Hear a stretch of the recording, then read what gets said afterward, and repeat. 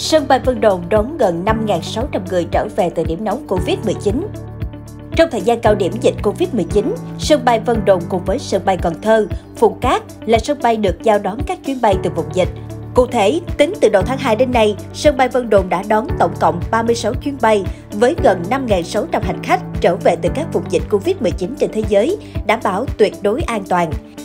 Đặc biệt, sân bay Vân Đồn đang xúc tiến mở mới đường bay nội địa đi Phú Quốc hoặc Nha Trang vào khoảng quý 4 năm 2020, đồng thời xúc tiến mở đường bay quốc tế mới theo phương thức series charter và charter, tức là chuyến bay thuê riêng cho du khách của một hãng lữ hành tới Vân Đồn. Trọng tâm là nhóm đường bay từ Trung Quốc, Hàn Quốc, dự kiến mở bay từ đầu quý 4 năm 2020 sau khi các nước đã kiểm soát được dịch bệnh và cho phép khai thác trở lại các chuyến bay thương mại quốc tế.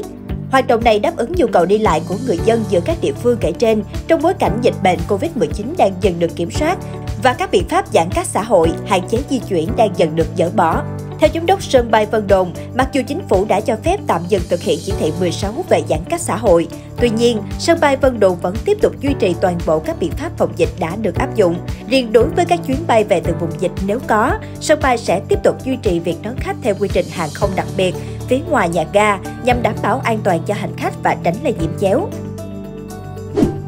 Thông tin mới nhất về ba bệnh nhân nhiễm Covid-19 nặng nhất theo tiểu ban điều trị Ban chỉ đạo quốc gia phòng chống dịch COVID-19, sáng 2 tháng 5, bệnh nhân nữ 161 đã xét nghiệm âm tính với nCoV lần thứ nhất. Bệnh nhân 161, 88 tuổi, quê Hương Yên, được chuyển tới Bệnh viện Bệnh nhiệt đới Trung ương điều trị COVID-19 trong tình trạng chảy máu não thất do bệnh lý nền, tổn thương phổi trái. Hiện huyết áp của bà đã trở lại bình thường, không còn sốt và phổi tiến triển tốt. Bà tập cai máy thở và phục hồi chức năng. Tiểu ban điều trị cho biết sẽ thực hiện đuôi cấy virus từ mẫu bệnh của bà. Nếu kết quả âm tính lần nữa, bà sẽ chuyển về bệnh viện Bạch Mai để điều trị phục hồi tai biến mạch máu não. Bệnh nhân nữ 20, 64 tuổi, tiếp tục tập cai máy thở và phục hồi chức năng. Hiện bà đã hết sốt, có thể giao tiếp được, ăn qua ống thông dạ dày. Bệnh nhân 20 đã điều trị Covid-19 gần 2 tháng tại Bệnh viện Bệnh nhiệt đới Trung ương, vượt qua giai đoạn khó khăn nhất. Bệnh nhân 91, nam phi công người Anh, đang điều trị tại Bệnh viện Bệnh nhiệt đới thành phố Hồ Chí Minh. Bệnh nhân đã hết sốt, không còn tràn dịch màng phổi, tiếp tục thở máy, lọc máu và sử dụng ECMO, oxy hóa qua màng ngoài cơ thể. Chiều ngày 1 tháng 5, bệnh nhân xét nghiệm âm tính với nCoV, song tiên lượng vẫn còn rất nặng. Kết quả xét nghiệm của nam công nhân sốt cao nhiều ngày ở Gia Lâm, Hà Nội.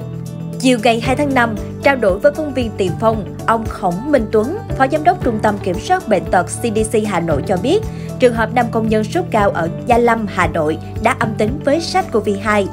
Trước đó, một nam công nhân trọ ở Gia Lâm, Hà Nội, sốt cao nhiều ngày, kèm biểu hiện tức ngực được chuyển đến Bệnh viện Bệnh nhiệt đới Trung ương. Xã cũng thực hiện biện pháp cách ly với 120 hộ, với khoảng 600 người nơi khu vực nam công nhân này sinh sống. Đầu giờ chiều ngày 2 tháng 5, ông Đinh Văn Giảng, Chủ tịch Ủy ban Nhân dân xã Kiêu Kỳ cho biết, khi có trường hợp sốt cao, test nhanh nghi mắc COVID-19, xã đã thực hiện các biện pháp cần thiết, đưa đi Bệnh viện Bệnh nhiệt đới Trung ương để tiến hành xét nghiệm. Cơ quan chức năng vừa thông báo người này âm tính với SARS-CoV-2, ông Giảng nói. Theo ông Giảng, chiều nay, xã sẽ chờ chỉ đạo từ quận để tiến hành gỡ bỏ cách ly được thiết lập trong buổi sáng.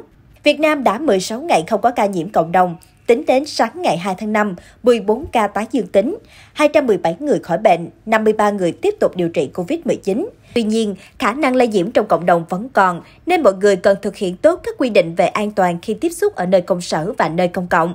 Và đừng quên đăng ký kênh youtube của Sài Gòn TV để lắng nghe tin tức mới mỗi ngày.